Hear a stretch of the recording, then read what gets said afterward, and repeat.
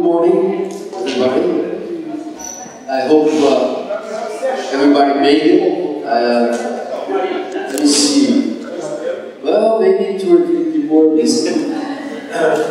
um, hope uh, you had a lot, a nice evening yesterday. Now we have to start work, some work. And uh, uh, just before I introduce you to Professor Eckert, I like to say the strategy will be like one and a half hours of lecture and then questions. And please be active. Please be active. Feel free to ask questions. This is a unique opportunity. So Eckert will be most happy to questions.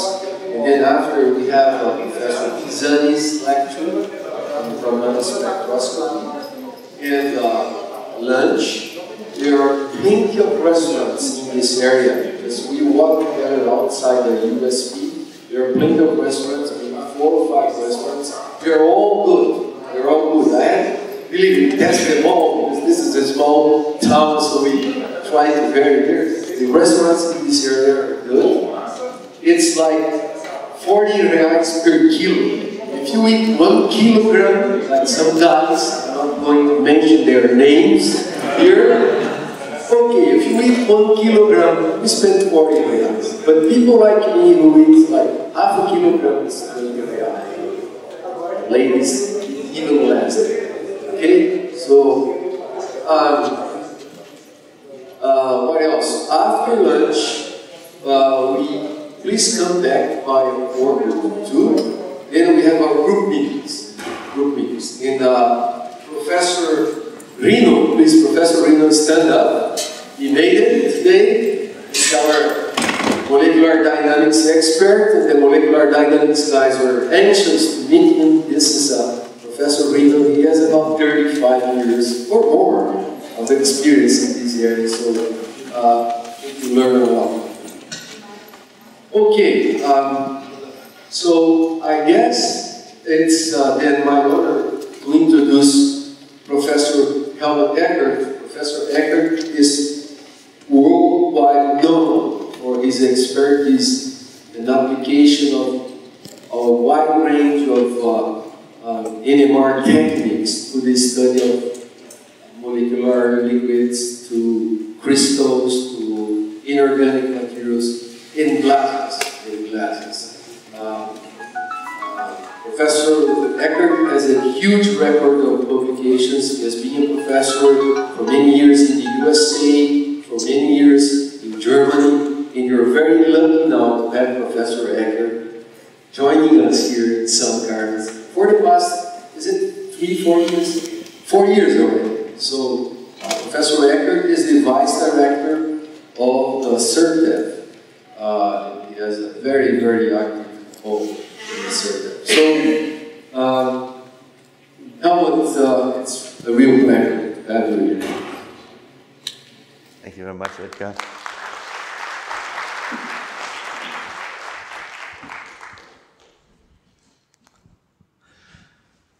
Well, Edgar, the pleasure is all mine, and uh, very, very much uh, uh, thanks very much for these very kind words you uh, gave to introduce me.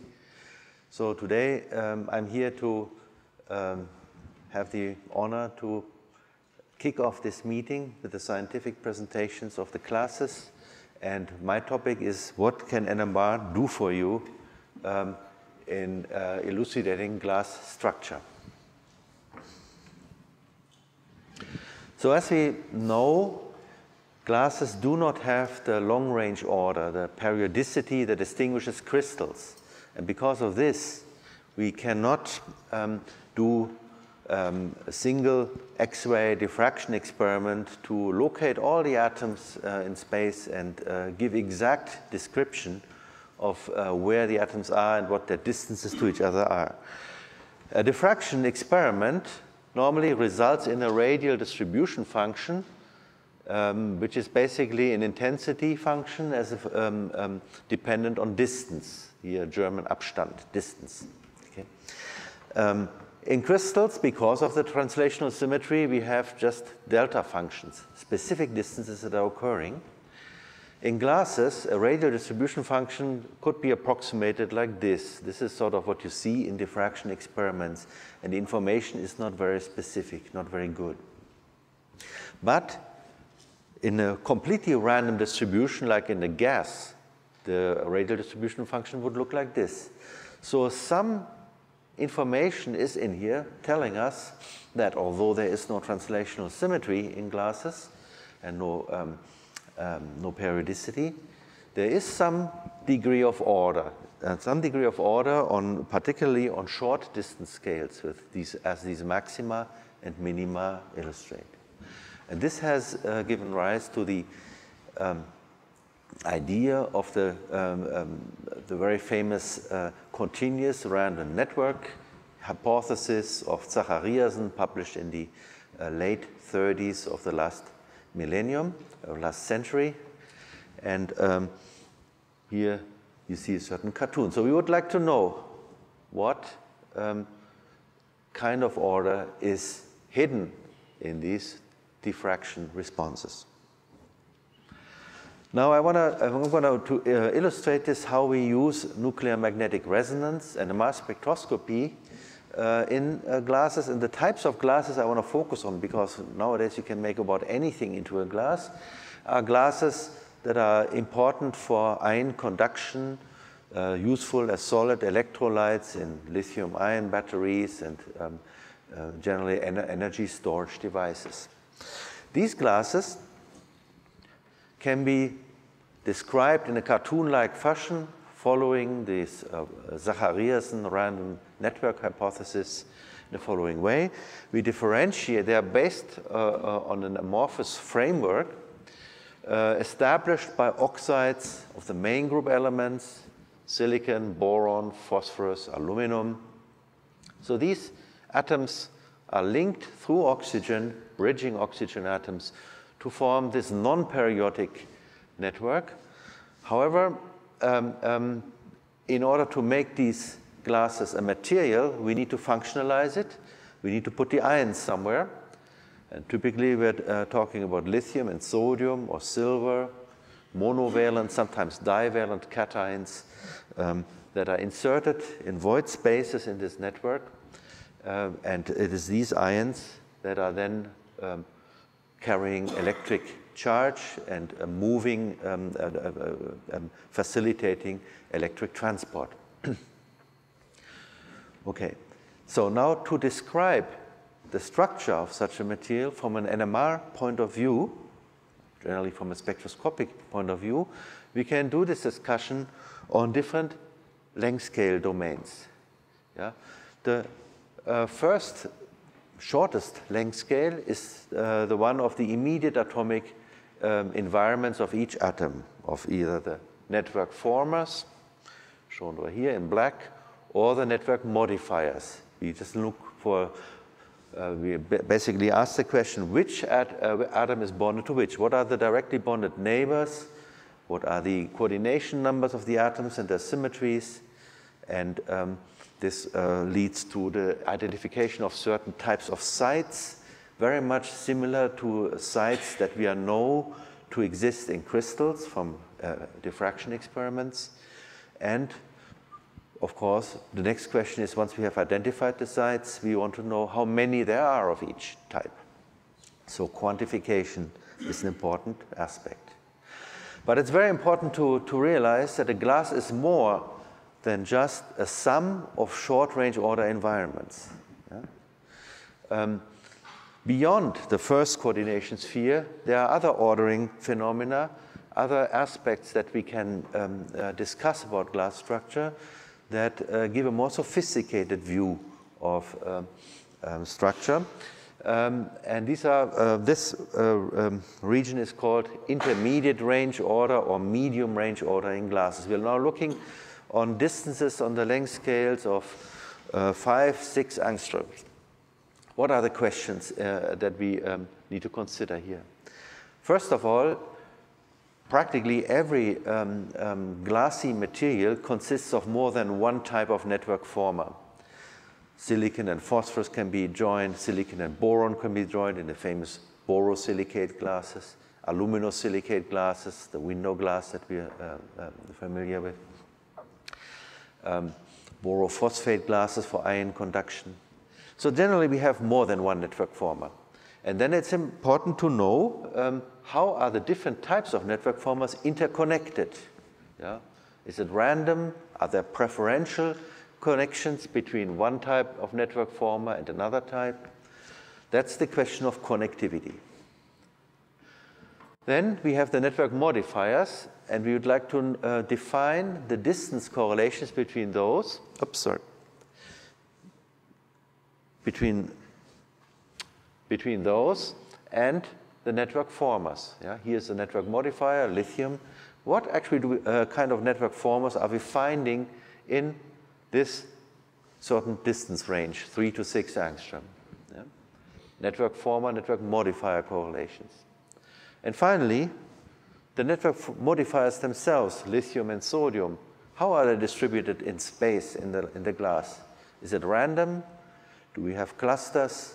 Do they try to get away from each other as much as possible? Is there repulsion so that they try to uh, distribute themselves uniformly like they do in many crystals?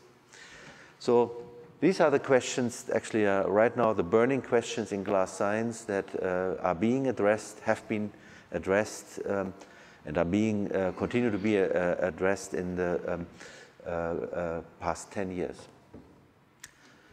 Beyond medium range order, there are further questions, particularly when um, um, you consider the next step of transforming a glass into a ceramic material by doing controlled crystallization. You hear a lot about crystallization and, and uh, ceramization uh, in the course of this school. So um, ceramization oftentimes is preceded, normally is preceded, by chemical segregation processes still occurring in a glassy state. So um, this is something uh, to define the mechanism of uh, the formation of a ceramic. We need to learn uh, with the appropriate technique what precedes this stage. Nucleation of crystals. Phase separation could already exist in non-nucleated and non-crystallized glasses. And um, the growth of the crystals. Identification of the crystal phases, quantification, Again, um, here we're talking about a length scale of uh, nanometers, nanometers to uh, microns eventually when uh, we have crystallized the glass into a full ceramic. Again, NMR can address questions regarding nano and microstructure as well. So, that was the introduction to why it is interesting and important to apply my favorite technique in uh, uh, glass science, namely NMR spectroscopy. NMR spectroscopy stands for nuclear magnetic resonance. And um, the N means we're talking about a property of the atomic nuclei in matter. It is a magnetic property arising from the angular momentum of spin, of nuclear spin. And R is resonance, um, we're dealing with a spectroscopy that uh, involves the interaction of electromagnetic waves with matter. Okay. Um, in our group, um, which we are continuing also, uh, still ongoing in the University of Münster, as well as um, have, has been started here in uh, San Carlos. We are applying NMR spectroscopy to a wide range of different uh, materials from uh, beyond glasses, lithium ion battery components, inorganic organic hybrids, and biomaterials. Here are some examples of systems that are being studied. And um, uh, just gives an overview of our research agenda. And I will be presenting uh, a number of results from our research effort in both universities. Um, also at this point, because I forget later, uh, I'd like to acknowledge the funding by the German and uh, Brazilian uh, research funding institutions. Okay, so I will give an outline into the technique of solid-state nuclear magnetic resonance, and um, so the, to basically discuss the principle of the measurement, the physical background. Then um, I will talk about interactions that influence the NMR spectra. And it's these interactions that we want to study and relate to structure. Yeah? And there are basically three interaction mechanisms that uh, um, are in, an, in, a, um, in, the realm of an um, introductory talk, um, lecture uh, to be discussed, magnetic shielding, to chemists more known as the uh, expression chemical shift, dipole-dipole coupling, the internuclear interactions, and the interaction of asymmetric charge distribution of the nuclei, which are described by nuclear electric quadrupole moments, with electric field, specifically electric field gradients surrounding these nuclei. So this is the quadrupolar interaction. All of these relate in a specific ways to structure, as I will try to develop during this lecture. Okay. Now, when we do NMR spectroscopy of a, of a nucleus in a glass, we have a problem that in general, all of these three interactions are present, somehow influence the spectrum, but we can't extract the interaction parameters from this because the spectrum then looks too complicated. So it's washed out. It's all hidden in there, but we can't get it out. And so the modern NMR uh, spectroscopy um, is um, uh, using special techniques to manipulate these interactions, to switch certain interactions on and off and simplify the spectrum, focus on one interaction at a time.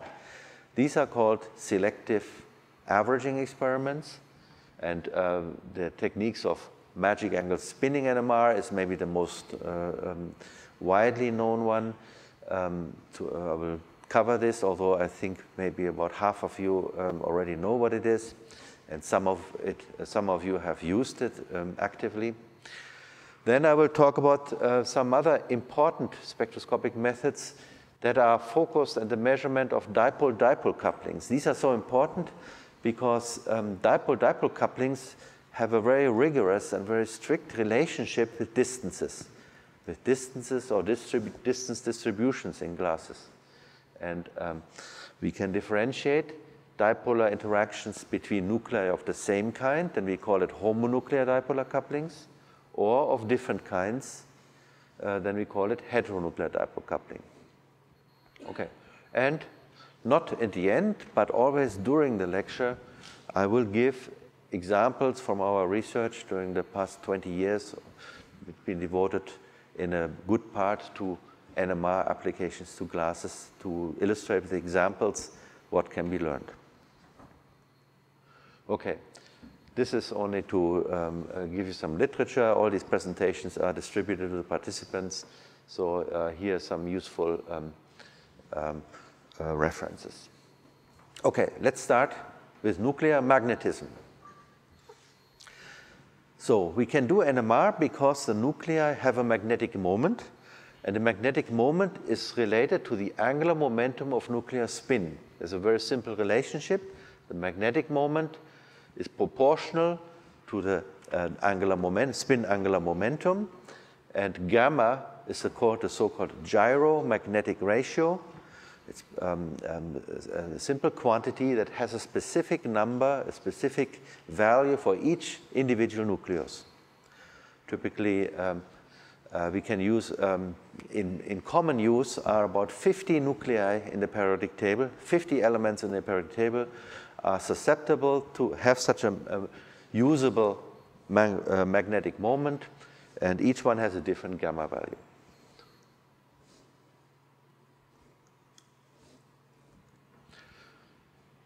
Okay.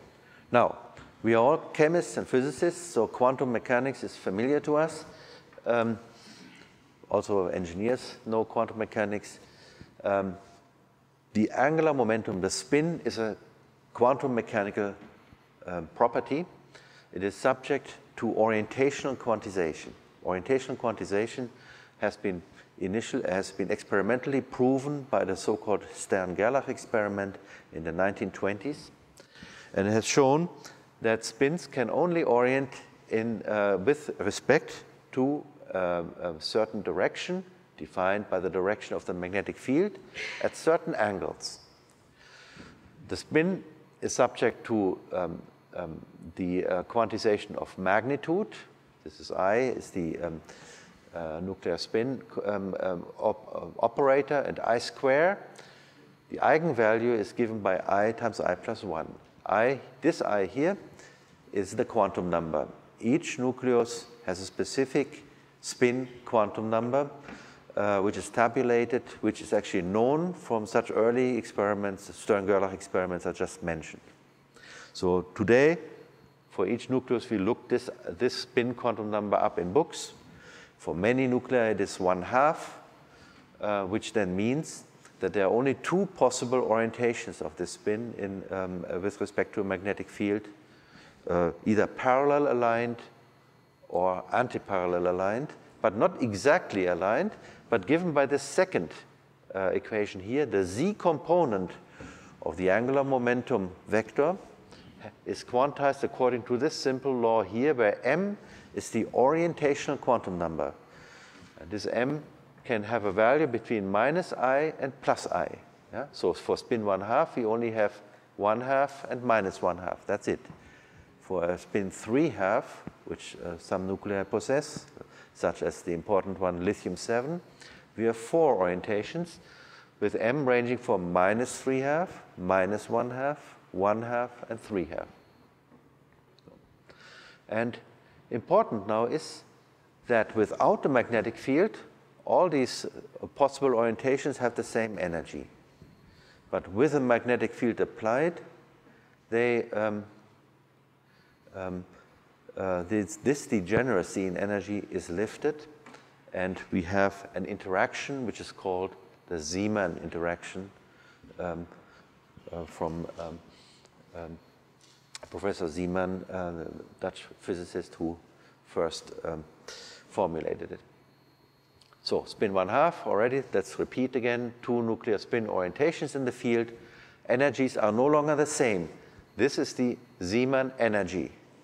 So it's proportional to the quantum number. We have two states, minus one half and plus one half. See, the energies are different. Yeah. This plus one half state corresponds to the partially aligned orientation, which is lower in energy. And the minus one half orientation quantum number is the uh, partially counter-aligned orientation, which is higher in energy. The energy difference is given by gamma h bar b0, where b0 is the strength of the magnetic field. Yeah, I should mention here, this is the magnetic induction, the electromagnetic induction defining the strength of the magnetic field, given in units of Tesla. Typical magnetic field strengths are um, um, nowadays in the order of 7 Tesla for low field, up to about 24 Tesla at the highest commercially available field strength, which uh, uh, corresponds to a proton frequency of close to 1 gigahertz. Okay. Um, this gamma here is a number for each specific nucleus. And because of this, um, it has a specific number for each nucleus. NMR is element selective because the Zeeman energy depends not only, well, uh, uh, depends of course on the magnetic field strength, which is fixed in the experiment, it's given, it's provided by a superconducting magnet and constant. And then the Zeeman splitting depends on what nucleus we're studying. So it's a different value, different energy for protons than it is for carbon 13, than it is for silicon 29. Okay. When we measure NMR spectra, so we need to, um, yeah, we uh, need to uh, cause an interaction between these energy states and electromagnetic waves. So we provide electromagnetic waves to cause this transition between. So when we have the, the Bohr condition satisfied, which means h nu equals the energy level difference here, then we get transitions. We can do the experiment. So the frequency, because the energies are different, the frequencies are different, and that makes the element selectivity.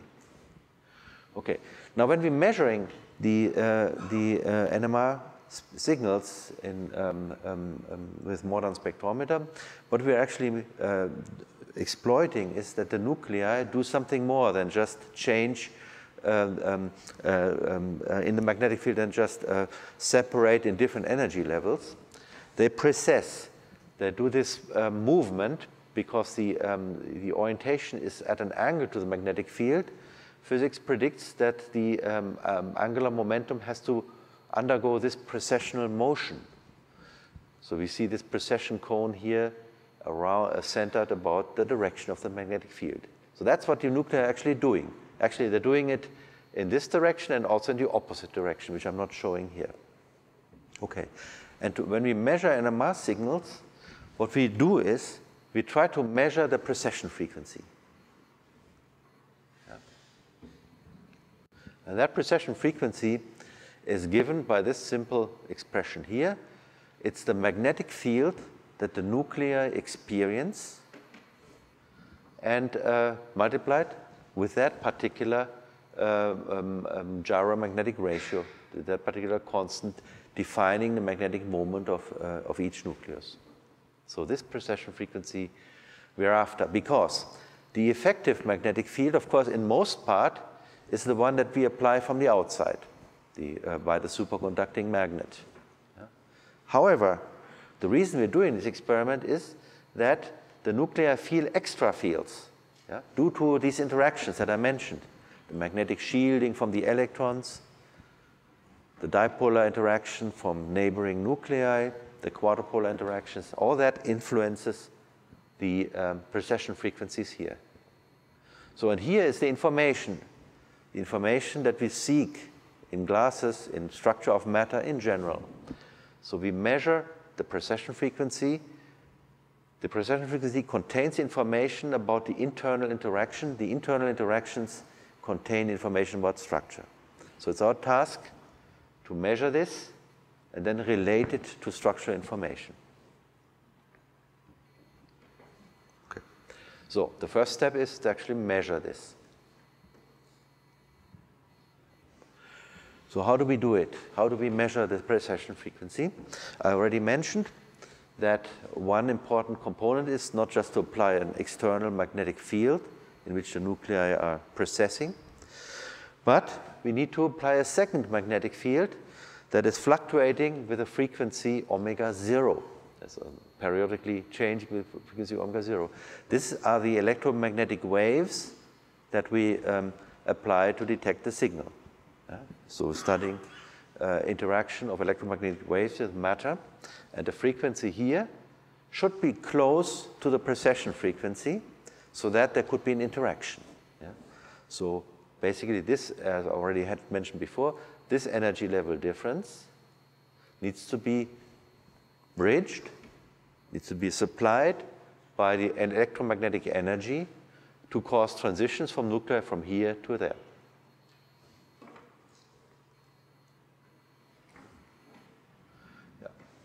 And that's the, idea. Resonance absorption occurs when these frequencies, the externally applied frequency, is um, close to the precession frequency. So in practice, in NMR, we're talking about radio waves. We're talking about um, FM radio waves in the range of um, yeah, typically 50 to 600, 800 megahertz.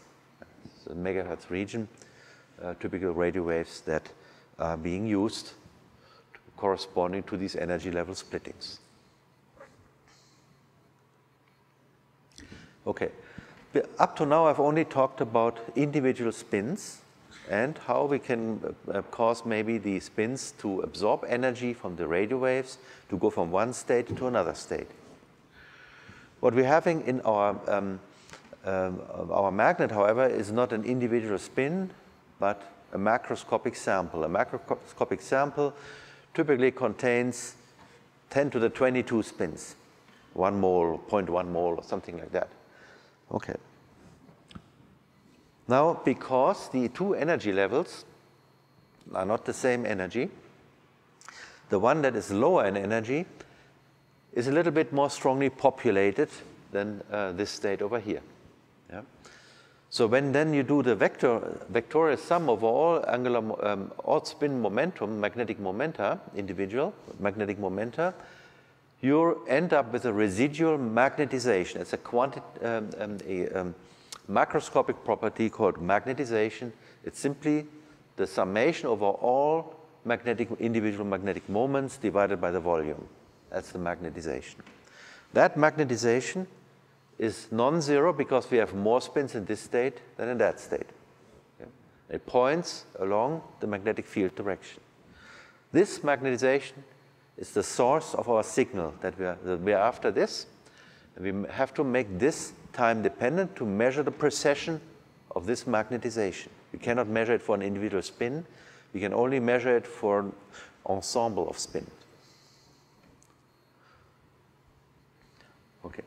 Because the spins are uniformly distributed over the precession cones, there is no macroscopic magnetization perpendicular to um, uh, the field. Yeah? So these, there's an even distribution, positive and negative x and y components are canceling out. So under uh, thermal equilibrium, we have this situation. Spins precessing for spin one half system. Spins precessing in two cones, more spins in here, so a positive magnetization along the field. We can calculate how big the magnetization is. It's uh, given by similar formalisms as um, uh, one uh, describes the um, magnetization of paramagnetic materials. It's the Curie law. Um, and we see here uh, the, the, quantities that influence the size of the magnetization. It is um, proportional to gamma, this qu uh, nuclear quantity. It is proportional to the inverse temperature. At lower temperature, the Boltzmann distribution favors this state even more, so the magnetization gets bigger. It's proportional to the strength of the magnetic field, yeah, because the Zeeman interaction, the energy level difference is proportional to the field. So that's why we have more signal if you go to higher magnetic fields. This is why there's such a big industry uh, of, of NMR spectrometers to produce higher and higher magnetic fields. The current commercial limit, as I already, already mentioned, is around 24, 25 Tesla. But uh, in, at Florida State University, there are experimental magnets that can provide about double that, the so-called hybrid magnets. But they're not, uh, they're, um, they're basically arising from a combination of superconducting coils and permanent magnets. You can get up to 45 megahertz. But, um, 40, I'm sorry, 45 Tesla uh, field strength. And of course, then you get much more signal at such high field strengths. Most important, however, the magnetization is proportional to n. n is the number of nuclei present in the sample. Yeah? And since this is under experimental control and the other things here are constant, physical constants, the temperature is set, we have a very simple relationship between the magnitude of the signal, the magnetization, and the number of nuclei giving rise to that signal. So uh, unlike many other uh, spectroscopies, NMR is a rigorously quantitative method. We can really, uh, this is the, the method that uh, lends itself most easily to quantification. So what we do then in the experiment? In the experiment, we start out with this magnetization pointing in the magnetic field under thermal equilibrium. Then we use the radio waves to flip that magnetization by 90 degrees, as shown over here. And now this 90 degree flipping causes two things. It uh, makes the populations of the, uh, of the two um, um, um, orientations equal. So no more, no more magnetization along the field direction now. And it also causes an uneven distribution of the spins over these precession cones. We get some bunching of spins higher concentration in a certain direction. And because of this, now um, after um, the, this pulse has been applied, the magnetization has been flipped from z field direction perpendicular, the precession of these bunches creates a little rotating magnetic field that then can be picked up by a coil and detected by electromagnetic induction. So that's basically what's happening. We record a time domain signal. It's called a free induction decay and uh, has this oscillatory behavior, which is essentially the um, uh, difference between the precession frequency, it's basically proportional to the precession frequency of the nuclei. Yeah? There's some, some experimental detail that we actually, for experimental reasons, we're actually de detecting the difference between the precession frequency and the excitation frequency, but that's not important for these purposes here. Okay? So this time domain signal, it's a voltage decaying in time. Yeah? It has, for one spin species, we measure here the precession frequency, and Fourier transformation can tell us what that frequency is. Of course, if it, we have only one particular spin species present, then we don't need this step mathematically. We can do this by inspection. But in NMR spectroscopy, as many of you may know, we have, of course, multiple different spin species in different chemical environments that give different precession frequencies. So instead of having a simple spectrum like this, it's an interferogram. Yeah, looks more like this. Yeah? And then you can no longer go by inspection and, and, and, and analyze the, um, the uh, uh, precession frequency. Then you have to do that mathematical operation called Fourier transform to inquire the frequency content of this interferogram. And here you see the algorithm. It's a very simple algorithm. You create a list of trial frequencies, calculate this into f of t is the, the shape of the free induction decay as a function of time. You, uh, um, you basically ap apply this um, algorithm, e, um, e of minus i omega, omega is the trial frequency, from that list, uh, do this integral, and then you get the frequency content. So this spectrum then tells you the individual precession frequencies for different nuclei present in the sample.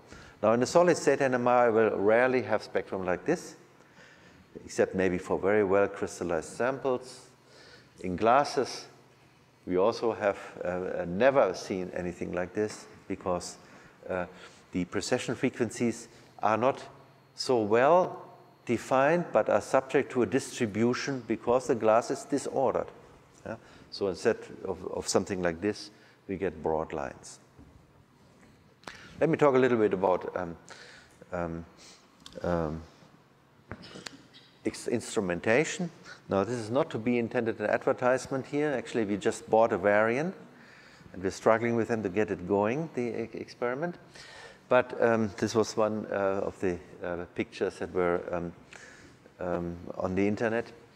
And so here you see a typical um, um, one of these state-of-the-art magnets uh, for uh, this number 800 stands for the proton frequency um, that is achieved with this particular magnetic field strength of about 18.3 Tesla gives 800 megahertz proton frequency. Now this is what a magnet looks like inside. I don't recommend you doing this with your magnet because it's an irreversible process. Basically, you're looking at a big uh, container of liquid helium that contains the superconducting coil um, that provides the magnetic field. Yeah? This is the helium container. To um, uh, the, um, we need helium temperature because the um, particular alloy sustaining these high currents typically about 200 amperes, um, need to be um, uh, superconducting. Uh, niobium tin is, an, um, is a, a, a, typical alloy that is being used. So this has to be always filled with liquid helium. Yeah? Now to um, minimize the boil off of liquid helium, one has another um, dewar around it uh, filled with liquid nitrogen. The helium needs to be filled maybe uh, every three, four months. The nitrogen needs to be filled every week. Um, and this way, um, uh, one can establish um, a field that is permanent, lasts forever as long as the helium lasts. Um, and if you have a power failure, as it um, happens all the time in São Carlos and also in, uh, in the, uh, from my previous experience in the United States as well, then uh, it doesn't matter, the magnet doesn't care because uh, the superconducting coil, the superconducting current just keeps going. Okay, so this is the magnet. That's uh, in terms of uh, dollars, this is about half the cost, half of the investment for an NMR spectrometer. The rest are the electronics for excitation and detection of the uh, NMR signals. Uh, the most important component for this is the NMR probe. The NMR probe contains the, uh, the sample over here in this part that is then inserted into the magnetic field. And here we uh, have the connections to the um, uh, radio uh, frequencies generator in the uh, spectrometer console. So what happens is that this probe here is inserted like this into the spot where the magnetic field has the highest homogeneity. So the sample is sitting here in the high, uh, at the uh, field of the highest field homogeneity and is now connected to the um, spectrometer console where the radio frequency pulses are sent to the uh, sample and also at the same time the NMR signal which is detected uh, by electromagnetic induction is sent back to the computer and here's the uh, into the receiver. Okay. Yeah. Um, so we have basically, typically, oops, typically just one thing, the uh, uh, power that comes from the spectrometer to excite the nuclei is about one kilowatt. So uh, kilovolts of, um, of, um, of um, uh, voltages are being supplied to the spins. The NMR signal has about um, a voltage of microvolts. So there are many orders of magnitude difference between the uh, radio waves that are being sent to the probe and the radio waves that are coming back from the probe to the spectrometer, to the receiver. And so it uh, takes some sophisticated electronics to actually separate both of them and uh, thereby really uh, develop, um, um, um, develop a clean NMR signal that one can analyze. Some of the techniques will, will, will cover. Okay, but now I want to uh, come back to the reason why we're doing the NMR experiments. We're doing it to learn about the interactions. And one interaction, most important interaction, used particularly for organic, uh, the, uh, by organic chemists who do liquid state NMR is the magnetic shielding but also, of course, in the uh, solid state, these shielding interactions are important. So what do we have? If we had a bare nucleus, one that doesn't have any electrons around it, of course, which is just a theoretical concept, then the precession frequency would be simply given by this quantity. The applied magnetic field multiplied by gamma would be the precession frequency. But it's not like that because the nuclei feel electrons in their um, uh, vicinity. They're part of uh, in the chemical compounds. They're, these electrons are around and they uh, provide, um, they modify the magnetic field. And this call, uh, effect is called magnetic shielding. There's actually a variety of uh, contributions, electronic contributions to the magnetic field, um, that, um, uh, to the magnetic shielding. There's a diamagnetic effect, It's basically just a, a Lenz rule, just the anti-field created by a, a, diamagnetic material. But then there's also um, a Van Vleck type effect, a second order paramagnetic effect that comes about that um, the um, electronic state is not 100% diamagnetic, the electronic ground state, but there's always through um, perturbation theory in higher order, a little contribution from excited nuclear states that are paramagnetic, uh, excited electronic states that are paramagnetic. And these, uh, these, the angular momentum of these excited electronic states that are only admixed, only admixed to the ground state create a paramagnetic anti-shielding. And that effect is actually stronger than the diamagnetic shielding. So most nuclei actually have higher frequencies than expected based on the bare nucleus because the effect of the surrounding electrons is actually in, um, altogether tends to be paramagnetic. We describe this by shielding constant sigma here. And um, the, um, when, this, when, the sigma is positive, then we, talk, uh, then we see the field, effective field is diminished. That is a diamagnetic effect. But um, a sigma that is negative leads to anti-shielding, and that's the dominant effect we see in the spectroscopy of most nuclei. The effective field is a little higher than it is for um, the, uh, um, um, in the absence of the electrons, for the bare nucleus. Of course, when you have a paramagnetic compound, then you have a strong uh, paramagnetic effect, a much stronger paramagnetic effect, and these uh, sigma is much more, much bigger, much, um, much more strongly negative.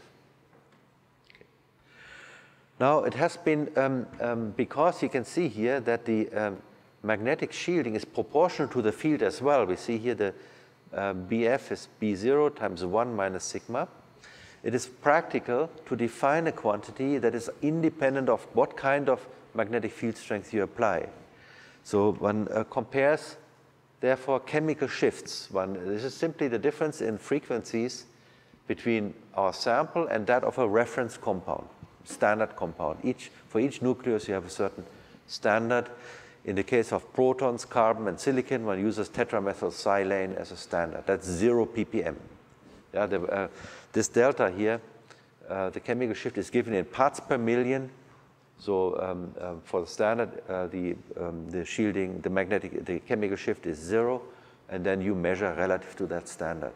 And you divide it by the um, frequency of the standard, and this way you get a uh, quantity that is independent of the field. So it doesn't matter whether you um, uh, do the measurement at 4 Tesla, at 10 Tesla, or 20 Tesla, the chemical shift will always be the same. Yeah, here I already mentioned here the shielding effect. And um, it is uh, clear that chemistry is important here. The, uh, uh, the chemical uh, shift is influenced by the type of chemical bonding you have. One can um, uh, easily visualize this if um, our, our um, um, let's consider this tetramethylsilane. The methyl groups um, are more electronegative, um, sorry, the, yeah, the methyl groups have a certain electronegativity relative to the silicon. The electronegativity is very small yeah, but if we uh, substitute methyl groups by fluorine, the fluorines pull the electrons away from the silicon, which then influences the, um, um, the shielding that the silicon experiences. So it's clear that the electronegativity of ligands will influence this chemical shift. And that's where the chemical information lies. But it's more than that in solids. In solids, we um, the chemical, the magnetic shielding and thereby the chemical shift also depend on orientation. It's anisotro an anisotropic quantity like, uh, for instance, the polarizability of a molecule, um, like um, the refractive index of a crystal. The magnetic shielding is, depends on direction in the molecule. And so one actually can define this by a tensor. And the tensor in a, um, in a special molecular axis system has three components. So in solids, essentially, the chemical shift is not one number. The one, the one number that you measure is an average of three components in x, y, and z directions. Now, that um, how different the um, uh, chemical uh, shielding is in the different directions depends, of course, very much on the local symmetry, the coordination environment. For instance, when you have a cubic environment, then the magnetic shielding is the same in all three directions, and then there is no anisotropy. However, when you have an axially symmetric environment, distorted environment, then you have different chemical shifts in different directions.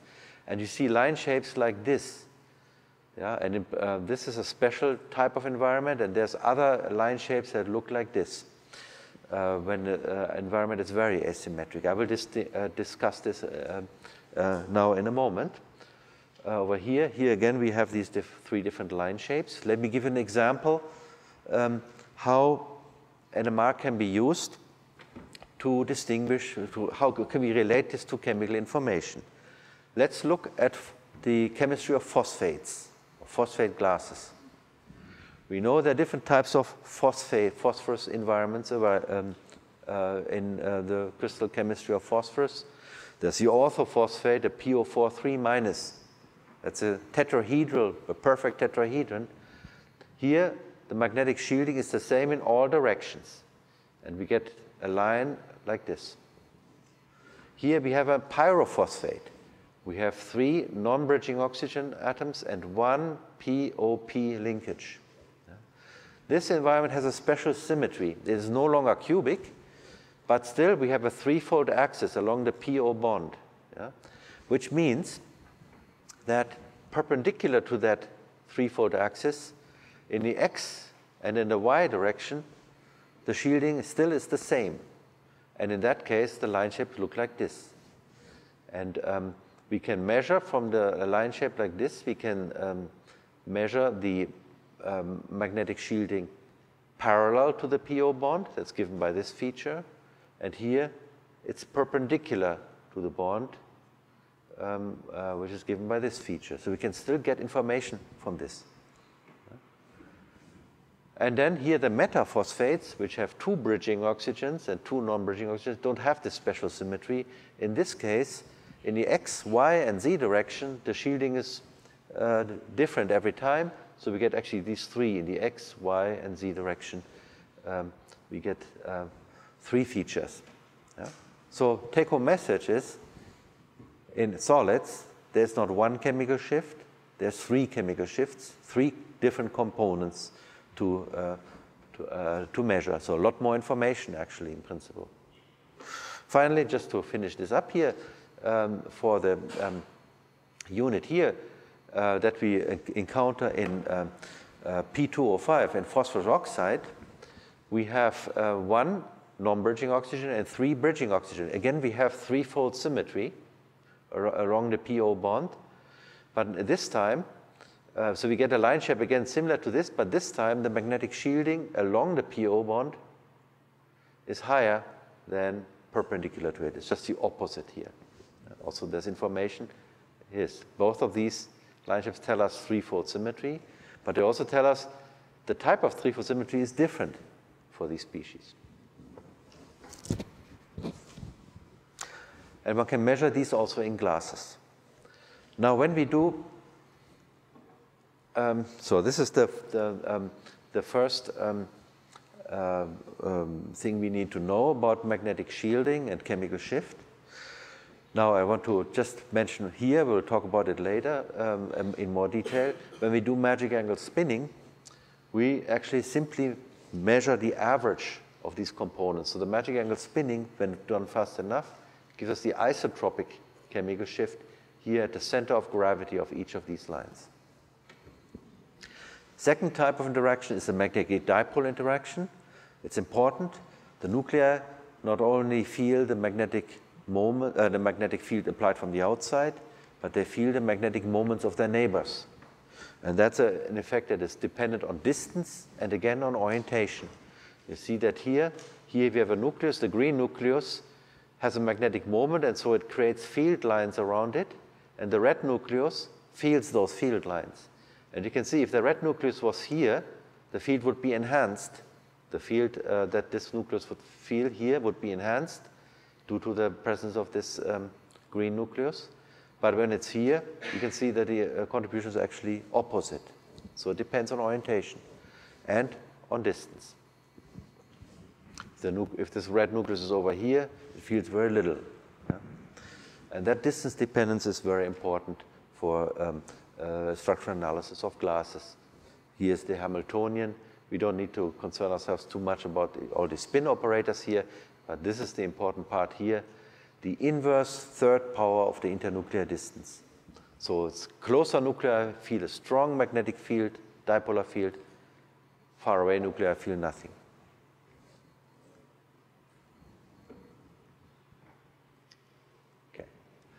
The third interaction is the nuclear electric quadrupolar interaction. That's a little bit more complicated, but not so complicated. Uh, it's simply due to the fact that nuclei that have a spin larger than one half don't have a spherical charge distribution, but their charge, their, their shape looks more like this, like an American football, or flying saucer. And um, that charge distribution can be actually represented by a sphere plus a quadrupole moment. Yeah, you can see here we have excess charge compared to the sphere. Here we have charge deficiency compared to the sphere. So that's the quadrupole moment. Yeah? And this quadrupole moment reflects the distortion of the nuclear from a sphere. And this quadrupole moment interacts with inhomogeneous electric fields in the vicinity of the nuclei. You can see here, I've put the quadrupole moment into, a, into an inhomogeneous electric field represented schematically by a plate capacitor with inclined plates. So the electric field here where the plates are closer is stronger than it's over here it's weaker. You can see now um, each of these uh, four charges feels a certain force, but the force here is stronger than it's over here. So there is going to be an interaction yeah, because the nucleus has an expansion, has an, um, it's not a point nucleus, it has, a, it has an area. So the quadrupole moment actually is represented by units of area. Okay.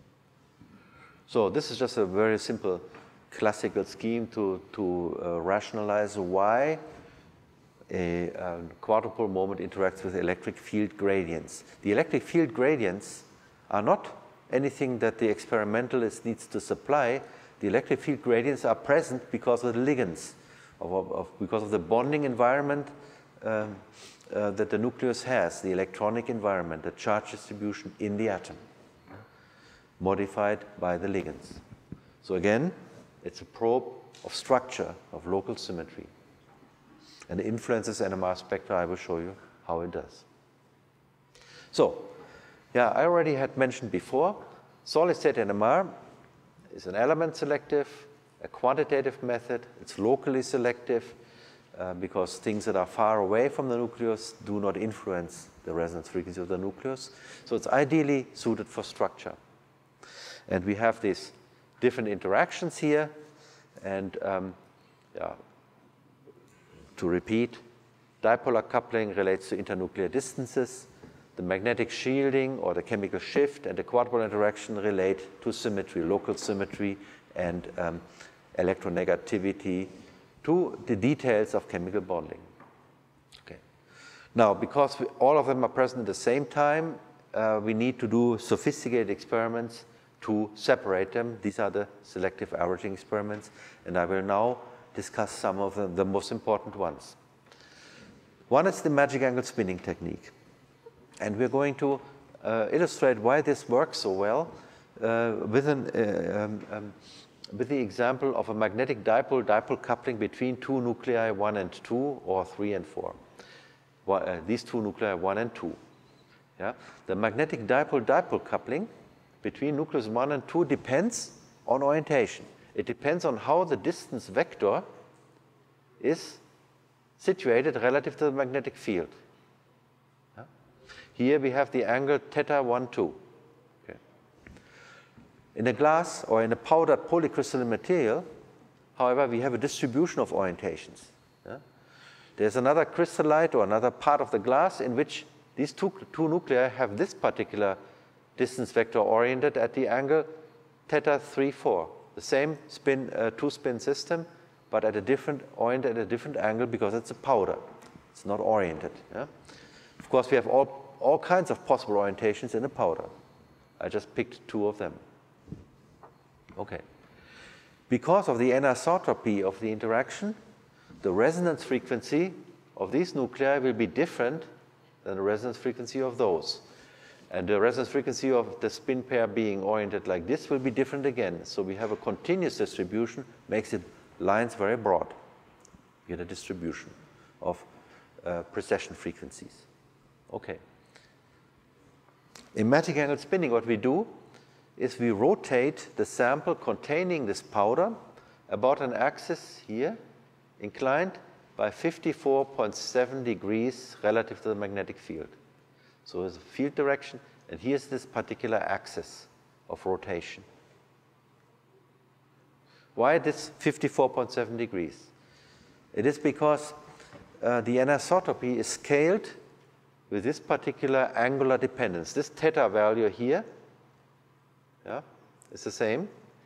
It's the uh, second Legendre polynomial, 3 cosine squared theta minus 1. This parameter defines how um, uh, where the resonance frequency is going to be. Yeah? Multiplied with the, uh, here this A relates to the strength of the dipolar coupling, and this is the orientation. So the distance sits in here, and this is the orientation of the internuclear vector. Okay. Now, for if you plug in 54.7 degrees, this term goes to zero. And that's the goal of the, uh, of the exercise of magic angle spinning. The anisotropy is removed. So you can see what happens.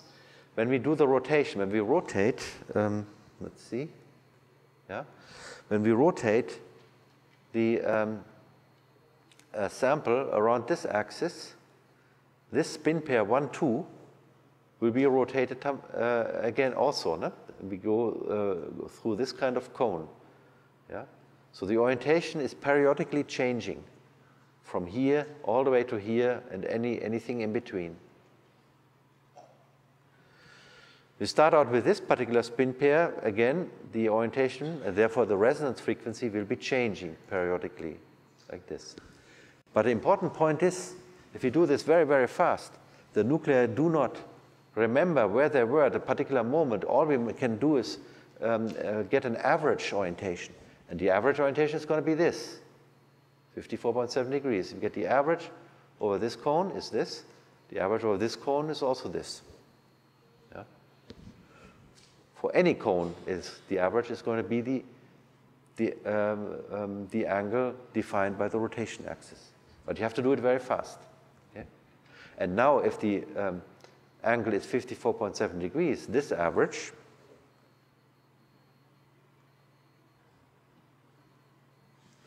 is zero. If you simply plug in the average orientation here is zero. And that eliminates the dipolar coupling, it eliminates the anisotropy of the magnetic shielding, and it eliminates a good part of the quadrupolar interaction as well. And we get very simple spectra that we can interpret like the organic chemists are reading the, in their spectra in the liquid state NMR. That's the technique of magic angle spinning. Here some uh, uh, details. You see here the, um, uh, the, uh, the probe in which the sample is spinning is um, um, um shown over here. We see the NMR coil coming out and in here. It is no? Um, the um, sample is contained in a little cylinder, so-called rotor, made of some very hard materials, typically um, uh, zirconia or some silicon nitride. And um, so the powder is simply filled in the rotor. The rotor is uh, capped with uh, these little caps here that have turbines shaped on it. And we use high pressure air to set the spinning. Spinning frequency is typically 10, 20 kilohertz. And um, in um, um, the faster you spin, the better. The uh, more effective is the averaging. The uh, technical limit right now is about 100 kilohertz. And that is very important to uh, average out very strong um, dipole-dipole couplings between protons. So one of the, um, the frontiers of solid-state NMR is actually to measure protons in organic solids. Yeah? You need to do very fast spinning to get good resolution there, to eliminate these dipolar interactions. In glass science, it's less critical. The nuclei that we study in glasses are rarely protons. Uh, for um, uh, standard uh, magic angle spinning NMR, uh, a frequency of 20 to 30 kilohertz is entirely sufficient. Yeah. So here you see the effect of the spinning speed. In the static case, we have this particular line shape. We've already seen this one. This is the chemical shift anisotropy. You spin slowly, it breaks up into a manifold of spinning sidebands. You spin more rapidly, this is the, because you're not fast enough spinning. So the nuclei still remember their momentary orientations. And this looks, uh, results in line shapes like this. And for very fast spinning, you will simply get a sharp line here given at the isotropic chemical shift, the average of the three chemical shift components that I had mentioned. Here an application to phosphate glasses. In phosphate glasses, remember, we have these different species with the different types of bridging oxygens. Um, at um, low sodium contents, we have here the so-called Q3 species, the ultraphosphate species, the bridging the, uh, sorry, the, the, um, the um, um, uh, Q3 species with three bridging oxygens. we have the Q2 species, the metaphosphate type species that produce this chain over uh, chains um, um, over a certain chemical shift range. And finally here we see um, pyrophosphate species with one bridging oxygen, and there's also a little bit of Q0 in this glass here. So as we see, we go for increase the uh, concentration of sodium in sodium phosphate glasses. We go from Q3 or P3 to P2 to P1 to P0 units. And from this spectra, when you analyze them, it's really quantitative. That's important. Here's from the literature, um, uh, same thing you can do with silicon NMR.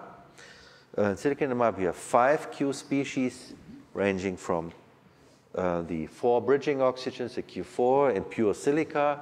As you keep adding network modifier, you go to Q3, Q2, Q1, Q0, and you can follow this very nicely in the magic angle spinning NMR spectrum.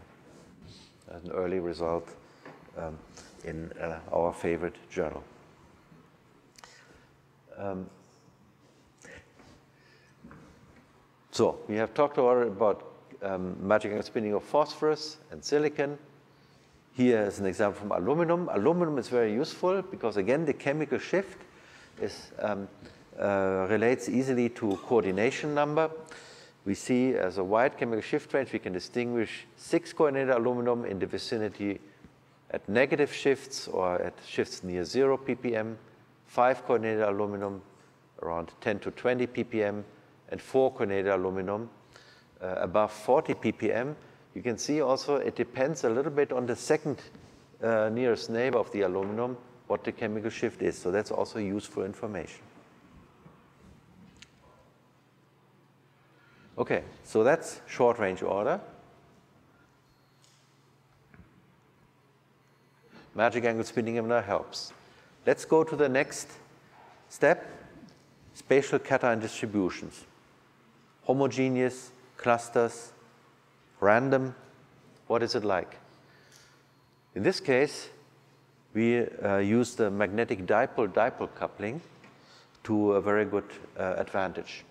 Yeah, we, we simply um, uh, use the fact that different spatial distributions cause different distributions of distances between the nuclei of the network modifiers, for instance, the 7 lithium or the 23 sodium nuclei from each other. When they're clustered, they're close together. When they're um, homogeneously distributed, then they're very far away, as far away as they can possibly get from each other. And when they're random, you have something in between. But the important thing is because the dipolar coupling is rigorously dependent on distance, we can calculate this. We can compare our measurement with quantitative predictions. But how to measure it? This is another selective averaging experiment. It's called the spin echo decay experiment. And we can relate this to, um, um, it's a simple pulse sequence that we can uh, relate to a, um, a typical um, everyday situation of a marathon. Some of you have been on marathons. Um, and it's like this. You um, uh, at the, give a start signal and all the um, people are running in one direction, but they are running at different speeds. So some of them run ahead, some of them fall behind. You get a distribution. The field is thinning out. No? yeah, uh, instead of the, the runners are the nuclei. Some nuclei have larger magnetic shielding, some have weaker magnetic shielding. That causes the, the dispersion, the decay of the signal that we, we saw because they are no longer in phase. Okay, then at a certain time, you said, you say everybody turn back, run back to where you came from. The time reversal. This in the NMR spectroscopy is supplied by a 180 degree pulse versus the whole evolution in time. Okay, so then everybody runs back and we uh, arrive back here. If every, um, if every runner maintains his own speed, his or her his own speed, all of people will uh, um, return at the same time at the starting point. But it's not like this. People change their speeds. People get tired. People drop out of the race. Some people um, um, get excited and run faster. So as a result, the signal at the end, oops, will be a little lower than before. The refocusing is not perfect. In NMR, this imperfect refocusing is because of fluctuations of the frequencies that nuclei feel because of the magnetic dipole-dipole interactions. Yeah? And they, do the they have the same effect as um, we um, um, uh, have on the, uh, in a marathon. Yeah? People changing speeds. So here's the pulse sequence, 90 degree pulse, everybody starts running. We have this um, evolution time over here in which the uh, field is spreading out. Time reversal over here, echo um, um, signal measured um, after an equal time, equal evolution time over here. If there's no dipolar coupling, nobody gets tired, this intensity will be the same as at the beginning here. Yeah? If not, then we have dipolar interaction. And we can quantify this by now systematically changing the evolution time. Here we give the runners more time before they have to run back, so more chance for people to get tired, to, to drop out of the race and here even more. It's a series of experiments. It's like a, simple, very simple two-dimensional experiment, essentially. Hmm? Okay. As it turns out, it is the homonuclear magnetic dipole-dipole coupling between the spins that causes this dephasing, whereas the anisotropy of the chemical shielding and the quadrupolar interaction does not influence this decay. If only these interactions were present, the echo would have an undiminished amplitude, regardless of the evolution time we're giving them. Only these spins here, the homonuclear dipolar coupling between the spins here, contributes to this dephasing. So we can measure this in a very selective way. And um, in uh, glasses, we have, of course, a distribution of homonuclear dipolar coupling. This decay is going to be Gaussian. And this quantity here that defines the decay of the Gaussian, this is a so-called second moment, dipolar second moment that uh, can then be extracted from this Gaussian decay. And the good thing about this M2, you can calculate it from an, uh, a computer structure, from an, any assumed or real structure. It is simply a number of constants given here, multiplied with the inverse sixth power of the inter, all the internuclear distances involved. Yeah? Because of this r to the minus 6 dependence, we don't need to look, consider all of the distances. The sum converges. It's only the closest distances that make the, uh, the, the most important contribution. So in other words, we can generate any structure on the computer, predict M2, compare this value with our experiment and see if the structural hypothesis is uh, possible or not. We can exclude a lot of structures in this way. We cannot really prove a structure directly, yeah? but we can make it, we can say the result is consistent with this distribution. Yeah, that's the um, spin echo decay experiment. Here you see typical data. Um, for um, theoretical reasons, it's very important to particularly study the initial decay, so we have much more data points here, and this initial decay is, um, uh, is the one that needs to be fitted to this Gaussian function to give us these second moment values. Now you might say, okay, have you tested this method? Um, of course, we have many crystal structures where we know the distances. We, know, we can calculate the second moment from the structure, right? from all the distances there. And um, then we can do the experiment on these crystalline compounds and thereby validate the technique. And that's what you're seeing here. This is a range of crystalline model compounds where we are comparing the experimentally determined second moments with the theoretically calculated ones. And it uh, tells us that, you know, we can either uh, say we have about a 10 to 20% systematic error because of this um, slightly different curve, or um, um, we can use this curve as a calibration to account for, if there's a, a systematic error, we can account for it. But the systematic error, if it exists, is close to the random error that the measurement itself already in, um, um, implies. A 10 to 20% error in the second moment is not so bad because the second moment is dependent on r to the minus 6. So an error in the second moment makes a very small error in the distance. And then we apply that to sodium. We discuss here the uh, spatial distribution of sodium. Sodium is a 23, 23 sodium is a quadrupolar nucleus. The quadrupolar interaction doesn't bother us here. We measure the second moment as a function of the concentration the sodium ions in a range of sodium silicate glasses. That's this data here. And sodium borate glasses. It's this data here. We can see that from this experiment that the distribution of the sodium in silicate glass is completely different as a function of concentration than in the borate glasses. Yeah? Just to keep, put you on the line here, this is about 40 mole percent sodium oxide, and here we have 5 mole percent sodium oxide, anything in between. And here's the same thing for the, for the borate glasses. So in the silicate glasses, this kind of signature is a signature of clustering. Yeah? As we decrease the concentration of the sodium ions, the dipolar coupling stays the same. Yeah? It doesn't change anymore. It's because we're just making fewer clusters, but the distribution is, remains the same. We're just having fewer of these clusters. And uh, it's the interactions within the cluster that dominates the second moment.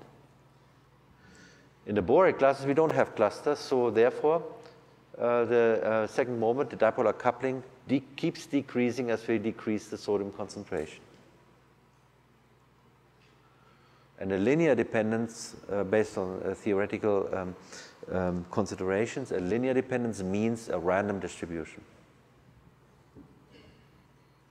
If it was homogeneous, we would expect a parabolic dependence, which is not seen, and the numbers would be much smaller than this.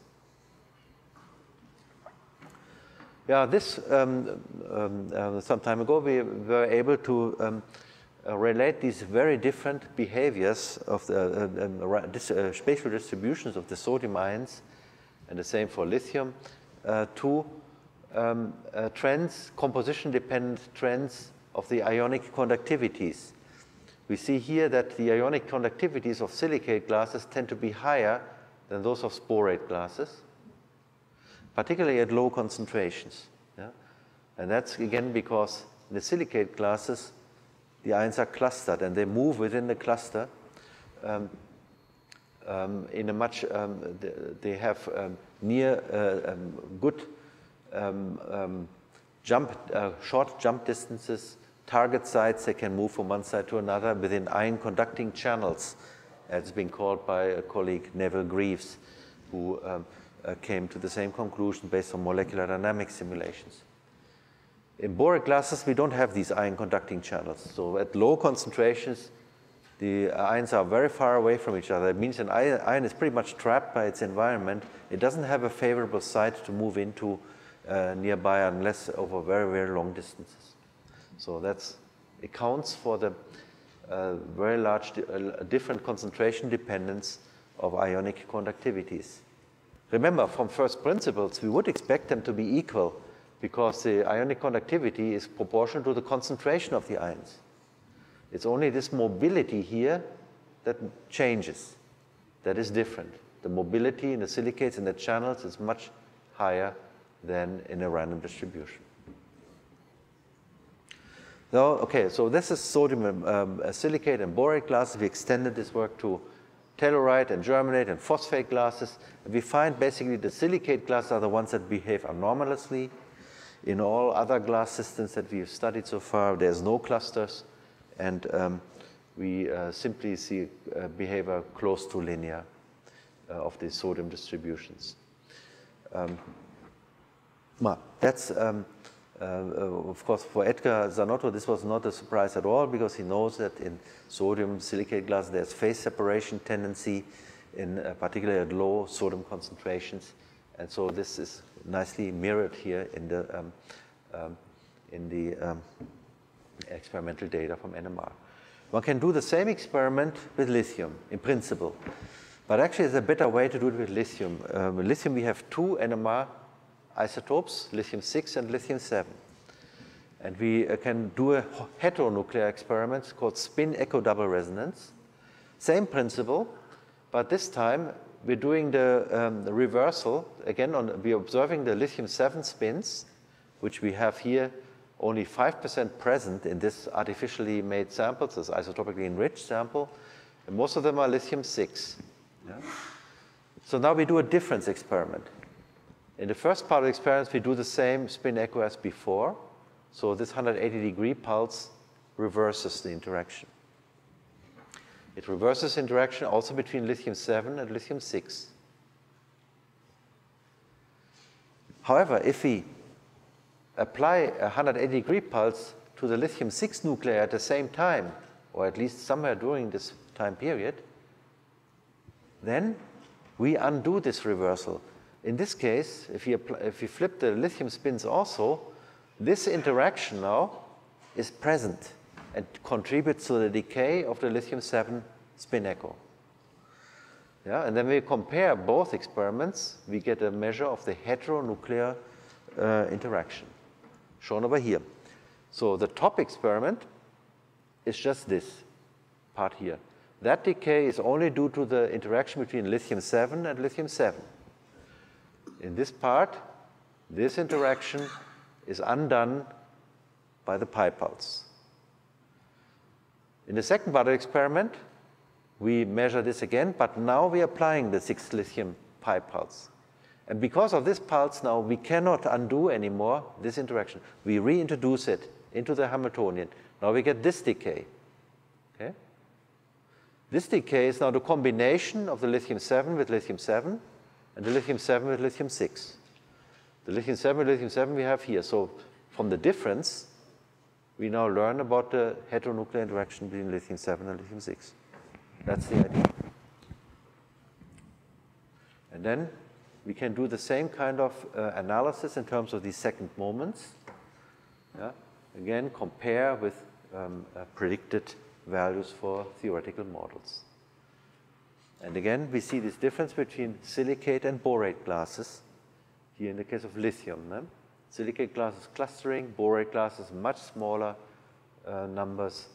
Um, and um, yeah, in this case, even um, not, not really a linear dependence, but something sublinear, uh, um, something more parabolic and below a random distribution, that maybe in borate glasses we do have a tendency of um, a more uniform distribution than um, random.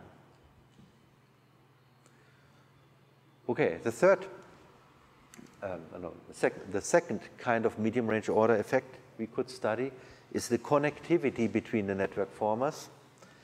Here, um, um, I will show you results on borophosphate glasses.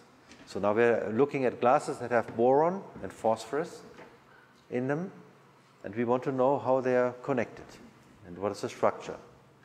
So two different network formers, boron and phosphorus, and we have suitable NMR nuclei, boron 11 and phosphorus 31. For NMR, it's actually paradise. Both of these nuclei are extremely well suited for NMR analysis. Let's look at the spectra first. We go step by step. Here we have a silver borophosphate glass. 50% of the glass is silver, it's the modifier, and now we're changing phosphorus against boron. So the, the, phosphorus to boron ratio is systematically being changed. In the bor here we're looking at boron NMR. In boron NMR we can again, like in the for other nuclei, easily distinguish coordination numbers. The 3 coordinated boron gives a signal here at 15 ppm, 4 coordinated boron gives a signal around 0 ppm. And we look more closely, we see that actually at least two, but actually more than just two uh, types of uh, BO4 groups there, of four coordinated borons. And what we want to know now is how are these connected with phosphorus? Okay, again, we can address this question by uh, measuring the dipole-dipole coupling between 11 boron and phosphorus 31. But now, this time, what we want to do is, we want to do this without giving up magic angle spinning. We want to do it under the conditions of magic angle. We want to distinguish between a dipolar coupling of BO4 with phosphorus and that with BO3. So we have to do magic angle spinning to do it in a resolved way. Yeah? The problem we have with magic angle spinning is it's designed to kill the dipolar coupling. Yeah, because over the rotor cycle, the dipolar coupling is averaged out, so it's not showing up in the normal um, magic angle spinning NMR experiments. So we have to play special third generation NMR tricks with it. We have to apply pulses that undo the effect of magic angle spinning, at least at some time of the experiment. It's like, again, a two-dimensional experiment. That's called rotational echo double resonance. It's just the magic angle spinning version of that spin echo double resonance that I told you before between lithium 7 and lithium 6. But this time with magic angle spinning. It's very easy to understand. The, um, sorry. The um, magnetic dipole-dipole coupling during magic angle spinning is given by this term. Here's the dipolar coupling constant. Here is the uh, a sign function that shows how magic angle, uh, that expresses how magic angle spinning modulates the dipolar coupling. And here are the spin operators between spin I, that is phosphorus, and spin S, that is boron. S is our observed nucleus here. So, all we need to do is now to go from here to here to reverse the sign of the dipolar coupling. It can be done by changing I into minus I using a 180 degree pulse. That changes I into minus I. So the first part of the rotor, uh, the first half of the rotor period, the behavior is the same. But here we apply the pi pulse, and now the um, Hamiltonian, the dipole Hamiltonian, is no longer following this, but it's flipped, sign change. Okay, now we have over the rotor cycle a residual dipolar coupling, no longer zeroed. Now we can measure the dipolar coupling. In practice, again, it's done like a difference experiment. In the first part of the experiment, we're measuring the boron spectrum. In a regular way, you get uh, um, signal S0. In the second part of the experiment, we measure the boron spectrum, but now we're applying these reversal pulses, these pi pulses to the phosphorus spins. And because of them, we recouple that dipolar interaction between boron and phosphorus. That's the recoupling experiment. And because of this recoupling, the amplitude of the signal that we detect here is going to be less. It's diminished. We measure a different signal. You see how it works. This is the um, boron observed phosphorus readout on this glass. We see here the, um, the trigonal boron, we see here the tetrahedral boron. This is the standard experiment without recoupling. Then we um, uh, repeat the experiment, now we're applying 180 degree pulses to the phosphorus spins. Now the signal looks like this. Look at the difference. We, learn from this that only the fourfold boron is affected by this manipulation. The threefold boron signal is undiminished, which means that there's a, a, big difference here in the connectivity between BO4 with phosphorus and BO3 with phosphorus. These are linked with phosphorus and these are not. We can do this more quantitatively because this uh, different signal depends on two things. It depends on how strong the interaction is, how close they are, the borons and the phosphorus, how many neighbors there are, and it depends on how long I do this pulsing, yeah? the, the recoupling time. That is something I can change experimentally. Like I did in the spin echo, I changed the time between the two pulses in a systematic way. Here, I change the number of pulses again. I change this uh, distance here over various rotor cycles. I can uh, put many pulse trains there, change the dipole evolution time this way. It's uh, the evolution time, the time during which I do this pulsing on the phosphorus spins is given by the number of rotor cycles multiplied by the rotor period. And from that you get a curve. Uh, this is a typical Redor curve. And if it was a, an interaction between two spins only, a P31 and a boron 11, then the theoretical prediction of the curve would be like this. There's an oscillation. And from this oscillation, you can get the dipolar coupling constant and you can get the distance from that. Now in glasses, we never have isolated two spins. There's always multi-spin interaction. We don't even know how many spins in, are interacting and there could be a distribution of distances. So it's, more, uh, it's much more complicated in glasses. But there's one thing that's interesting is that, uh, that that's what we based our analysis on when you look at the initial curvature of these uh, uh, curves, it is actually not dependent on the, on the um, uh, particular geometry of the spin system. It is simply dependent only on the average strength of the dipolar coupling, the second moment that I mentioned before.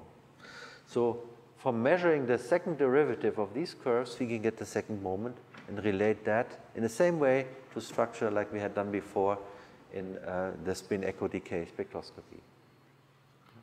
The theoretical uh, in this limit here, about 20 to 30 percent of the signal um, um, diminution.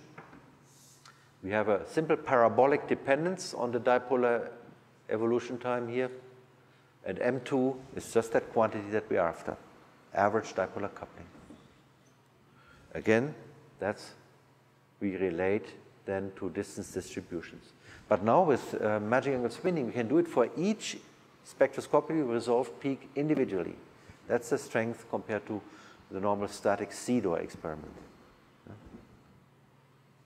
Here, an example of validation, boron phosphate. Um, um, in boron phosphate, we have around each boron four phosphorus neighbors at a distance of 277 picometers. And for uh, so it's a five-spin system, one can actually compute simulated behavior theoretically. It, look, it, goes very close to the experimental data. And the uh, parabolic approximation for this gives us a small systematic error which we can calibrate for. But um, so theoretically, we would expect this value. This is what we measure. This is our calibration factor. Now we can apply this to the glasses. So you see here again the Redor experiment, the BO3 and the BO4 sites. The BO4 sites depend, the signal depends, it's a Redor, full Redor curve now. The um, um, interaction for the BO4 is much stronger than for BO3 units. And from these second moments, assuming, which is a good assumption, that um, the BP distances in the glass along, across a BOP linkage are comparable or very similar to those in the crystalline compound BPO4, we can estimate an average number of BOP neighbors for these uh, borophosphate glasses. Simply from the, oops, simply um, from the M2 value that we get from this curvature. And for the BO3, the number is very, very small, and we can say that maximum 10 or 20% of the BO3 have a P linkage, if at all. Because some decay you will always expect because of um, uh, longer range interactions. Okay. Yeah, and this we have used in a, um, in a very comprehensive way to uh, study mixed network former effects in borophosphate glasses.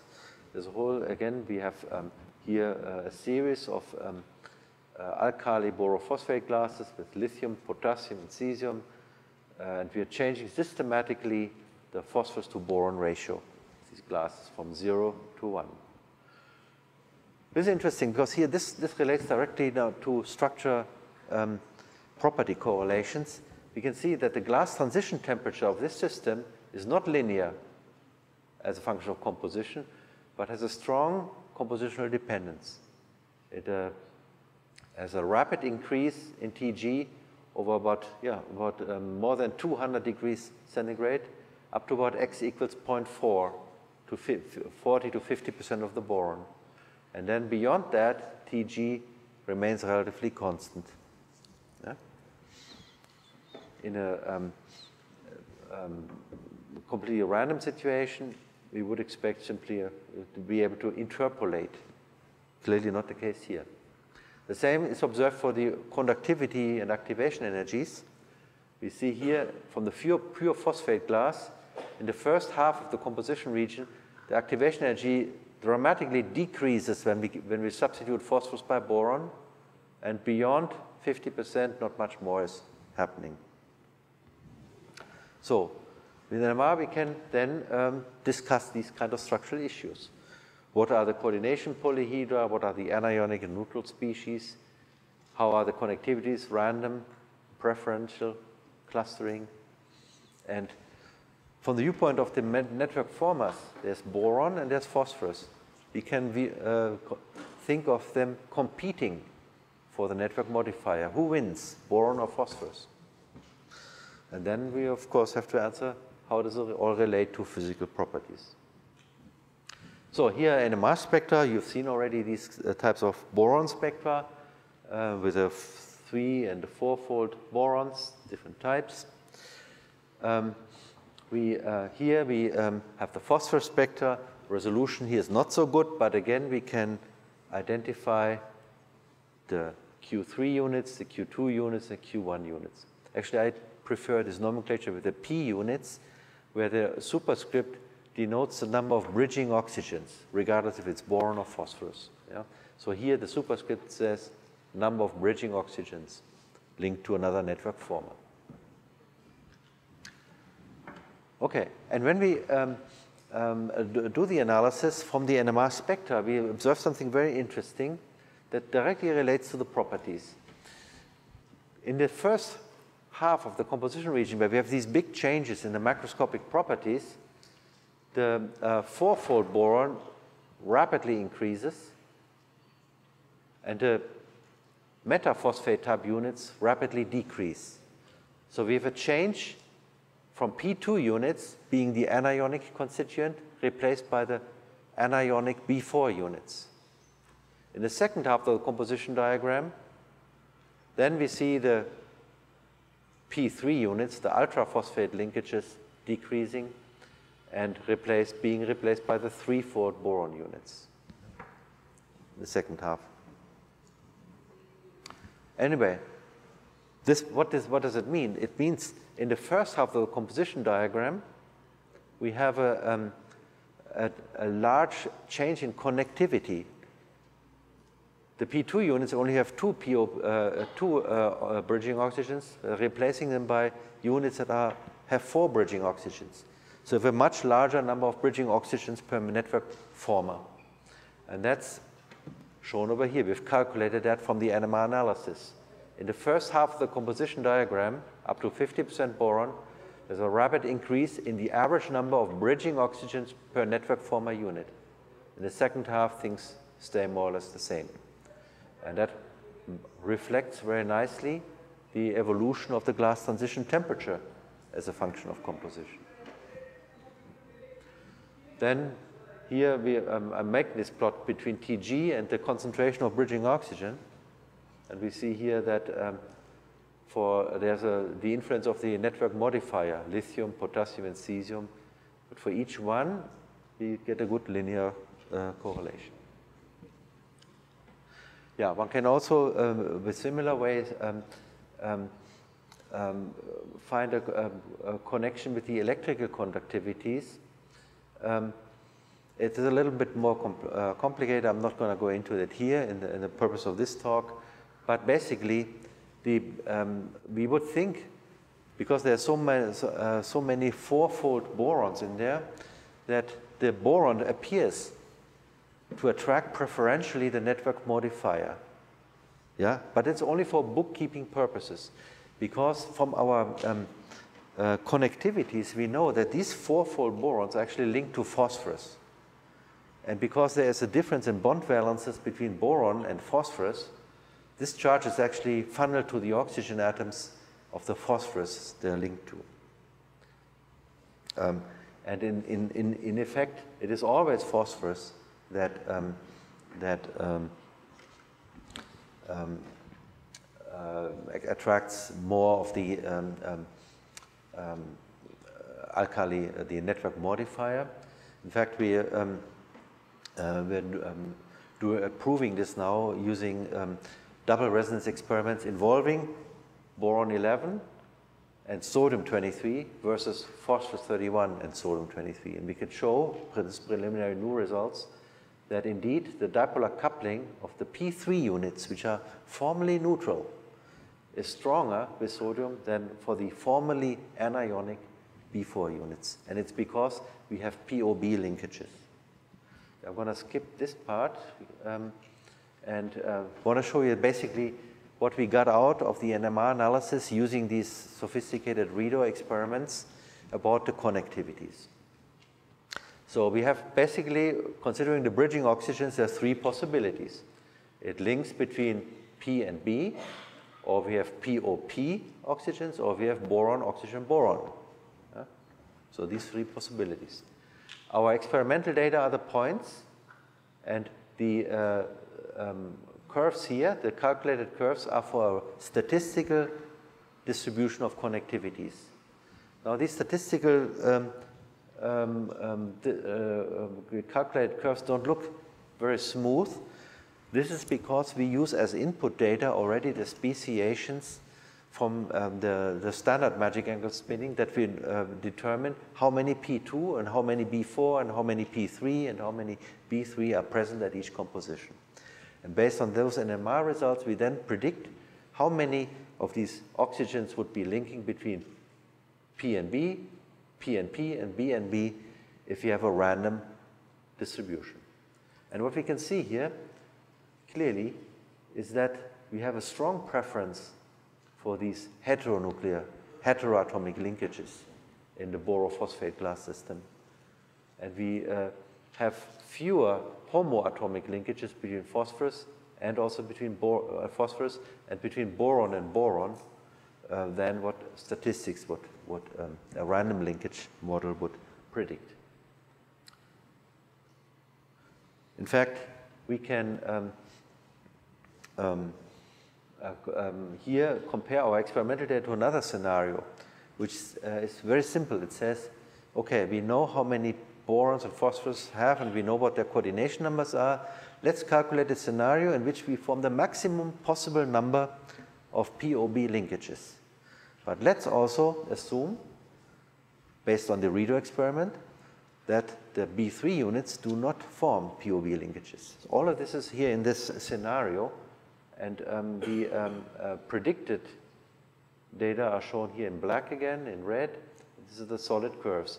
The dashed curves are one more time the, the random um, uh, uh, linkage model. But you can see the experimental data are pretty close to a chemically ordered system in which we really um, form a maximum possible number of POB linkages involving the four-coordinated boron atoms only. Okay, we have um, independently tested all this with XPS, X-ray photoelectron spectroscopy applied to glasses, where we can also distinguish different types of oxygens, and it's very consistent with uh, the picture from XPS data. So to finish up, let me just give you a little bit of an overview what NMR can do in glasses. Here you see the periodic table. The um, uh, ones in red are routinely applicable in solid state NMR. So about half of the nuclei of the elements of the periodic table are susceptible and amenable to solid state NMR experiments. Um, they're not always routine experiments, but they can be done and they can be um, um, applied to glassy systems. The ones in yellow are also good, but they require isotopic enrichment. With uh, oxygen 17, there's a lot of good work in the literature. People also have done work on calcium and, and iron 57. They're, um, um, they're doable if you have enough dollars in your, in your research budget. Um, the ones in purple are quadrupolar nuclei that in certain situations give good results. When the electric field gradients are not so strong and we have relatively symmetric environments. For glasses, the purple ones are generally, prediction generally is pessimistic because in glasses we have, because of the disorder, a, um, a distribution of local environments, and this uh, immediately uh, creates a large spread in quadrupolar coupling constants and will be difficult to see them in glasses. The ones in blue have even stronger quadrupole moment and basically neither in a, a solid state except maybe in cubic compounds, uh, neither in a crystalline state nor in a glassy state is there much hope to get something useful out of um, NMR on those nuclei. And I'm even missing here the um, rare earth ions because uh, they are uh, limited by paramagnetism. When we have paramagnetism, it's um, um, we have very evident, um, obvious uh, limitations uh, because the lifetime of the nuclear spin states are so short due to relaxation that we basically uh, escape detection in paramagnetic compounds. At least if the un unpaired electrons are on the same atom as the nucleus that we want to study. Then we use EPR methods to uh, detect NMR spectra of uh, the nuclei of the um, um, associated with such atoms. There are a few rare earths like lutetium, lanthanum, yttrium, well, yttrium is shown here also, which are doable, which can serve as diamagnetic mimics to uh, paramagnetic ions. But um, uh, one of our uh, current um, uh, research emphases uh, here in São Carlos is actually use EPR methods to detect the NMR of paramagnetic nuclei, of rare earth ions. Okay. Yeah, and here, so uh, compared to other techniques, NMR has a lot of good points that I already mentioned. Don't want to repeat this. Uh, it's all in the notes. The negative points, it uh, has low detection sensitivity. So we need about this many spins. You can calculate if an experiment makes sense or not if you know um, how much you have in there. Um, it's a bulk method, so spatial resolution is poor. Surface and interfaces are difficult to study. I should mention that nowadays there are lots of exciting new techniques that involve polarization transfer from electrons from um, polarized gases uh, to detect smaller amounts of spins. Yeah? Um, but the difficulty uh, that you have always is quantification. Quantification is, the, you can detect things, but you cannot tell how much it is. That's uh, all these exciting new methods. Uh, quantification is a, uh, remains a, a, real issue, and for uh, structural analysis of glasses, that's a very crucial drawback. Uh, and I already mentioned magnetic interference from um, paramagnetic by detection of paramagnetic species. There we use different methods. So I'd like to acknowledge the um, contributions of um, the group members here in Brazil, as well as our co uh, collaborators in, um, uh, at IFSC and at UFSCar. Um, and I um, uh, also appreciate the contributions from the University of Münster, the, uh, the group, um, as it was, um, group picture was taken last year, no, two years ago, and um, uh, still um, NMR experiments ongoing in, uh, uh, in Münster to support our effort over here. Yeah, I'd like to thank you very much for your attention and uh, um, welcome any questions you might have. Uh, how did you determine that the dipolar interaction was between adjacent sodium versus uh, the contribution of the boron Oh, okay. The, uh, the heteronuclear dipolar interaction is actually refocused by the pi pulse. Okay. So um, um, just the, it's a reversal, it's proportional, it's linear proportional on IZ, so that's refocused.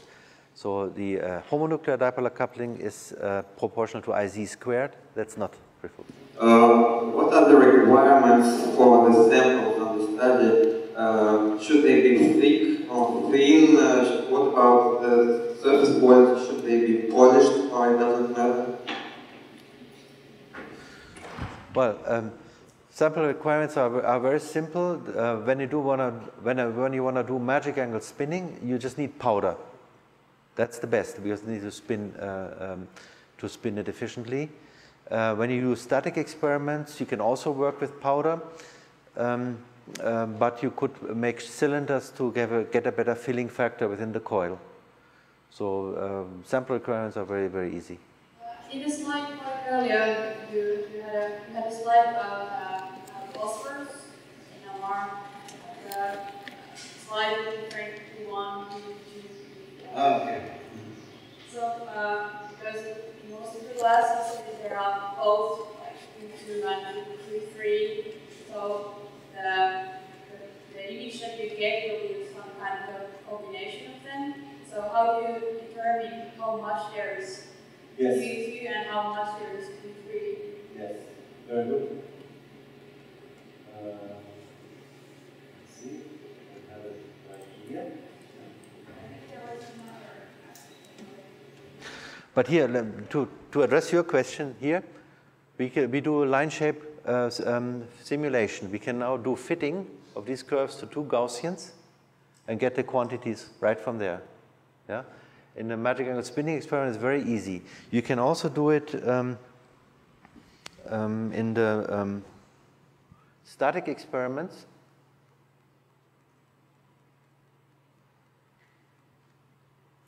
You were looking at this, no? Yeah. And uh, when you have, uh, this is not done without magic angle spinning. When you then do a recorded glass, you get a superposition of this one with this one. You know exactly the theoretical expressions for these line shapes. Yeah? These, these are known. Uh, these these uh, basically programs have them uh, programmed in. And then you can do a superposition of these line shapes and analyze the contributions there as well. It may be uh, have a larger error when they have a, because the resolution is not as good. But to quantify magic angle spinning is the best way. Yeah, I, uh, just a little bit of uh, question on the interpretation of the sodium uh, research using NMR. I remember you uh, you comparing silica glass with borate glass and found the conductivity of silica glass is higher than sodium. Uh, I kind of heard your explanation is sodium form clusters the uh, well as borate doesn't have. Is it this conclusion from NMR data, like the spatial distribution curve you showed previously, or is it uh, based on the simulation result? Um, this is experimental data, yeah, and uh, this is an interpretation of experimental data on ionic conductivities, yeah, um, in terms of the structural model. The molecular dyn- dynamic simulations on, uh, by Cormack and others who um, came to the same results were arrived at independently. Yeah? So we basically in, in the sodium we confirmed um, a lot of MD work that's done in the Cormack, that had been done in the group before on an experimental basis. One can actually combine both approaches to find out more details, for instance, to estimate the number of closest sodium ions. Um, and um, um, um, we have published a paper on that also um, in Physical Review some time ago, when, uh, using a synergy of MD simulations and NMR to get more deep information. You're saying that for the boring glasses, the distribution of the modifier cations is even better than the, than the random distribution. So uh, what's the explanation for that?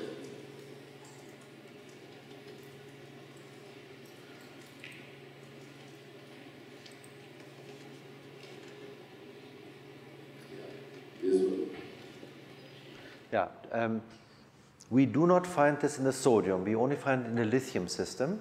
Yeah? In the sodium system, it's, it's uh, uh, dependence is close to random.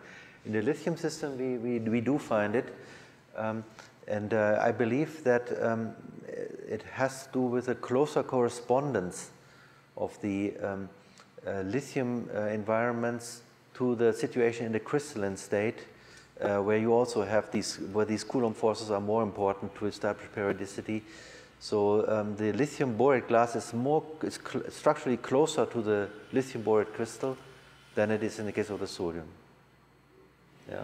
Can you show uh, one transparency of the equipment. You had several different materials, alumina, zirconia, different materials. Ah, you mean this magic of spinning? Yes. Yeah. Well, I'm very glad to see another application for a glass rivet.